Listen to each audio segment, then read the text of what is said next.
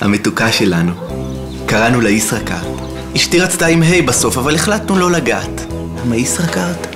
כי כשהיינו צריכים הלוואה, הם לא שאלו אותנו אם אנחנו לקוחות שלהם.